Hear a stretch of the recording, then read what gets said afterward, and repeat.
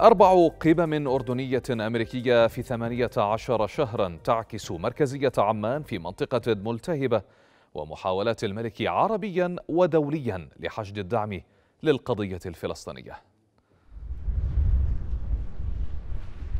على وقع تصاعد عنف الاحتلال في فلسطين عقد الملك عبد الله الثاني والرئيس الأمريكي جو بايدن أمس الخميس رابع لقاء بينهما في عام ونصف العام ضمن جهود الملك لإعادة القضية الفلسطينية إلى واجهة الاهتمام العالمي في مواجهة بطش الاحتلال. خفض التصعيد في الأراضي الفلسطينية شدد عليه الزعيمان بينما أكد الملك ضرورة وقف الخطوات الإسرائيلية التي تقوض حل الدولتين وتدفع باتجاه المزيد من التأزيم داعيا إلى تكثيف الجهود لدعم الشعب الفلسطيني في نيل حقوقه العادلة والمشروعة وصولا إلى إقامة دولته المستقلة.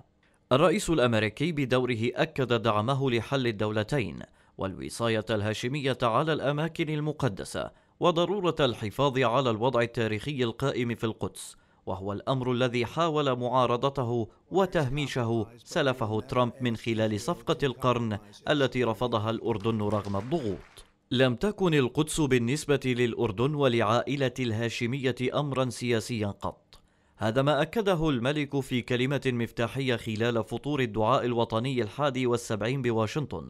مشيرا إلى ارتباط الهاشميين بالمدينة المقدسة منذ أكثر من مئة عام واستذكر استشهاد جده الملك المؤسس على عتبات المسجد الأقصى المبارك ونجاة والده الملك الراحل الحسين من تلك الجريمة في تموز يوليو عام 1951